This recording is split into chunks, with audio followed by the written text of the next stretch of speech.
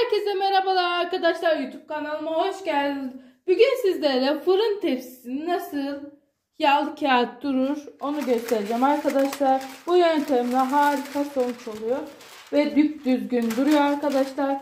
Şimdi gördüğünüz gibi hiç düzgün durmuyor. Buraları buraları kalkıyor. Şimdi kalkmadan nasıl yapıyoruz onu göstereceğim arkadaşlar. Şimdi yağlı kağıdımı alıyorum.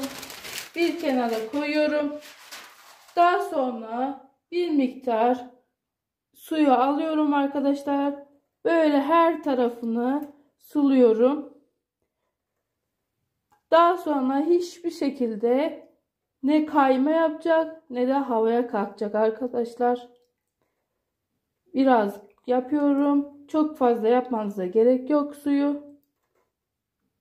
Bu kadar yeter.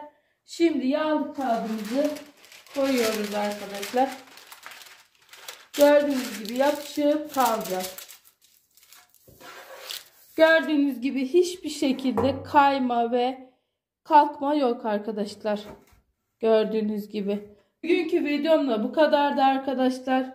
Kanalıma abone olmayı unutmayın. Like atmayı unutmayın. Hoşçakalın. Görüşmek üzere.